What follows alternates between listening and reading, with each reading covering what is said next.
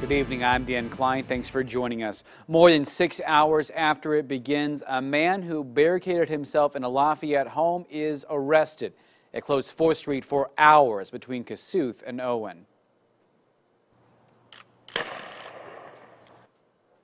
Lafayette police shot about a dozen rounds of tear gas into the home between 7:20 and 7:45, but it took almost two more hours for Brenton Wilson to be found in an attic crawlspace. There he goes, and taken into custody around 9:15 this evening. Police first came to the house at 1005 4th Street at 3 to arrest him on warrants for aggravated battery and dealing drugs. Officers say he was in the backyard, but ran and barricaded himself inside the home. All attempts to contact him, including cell phone and loudspeaker, were ignored. When tear gas did not bring him outside, the SWAT team went inside around 7:55. After more than an hour, they finally found his hiding space. So that's the best outcome.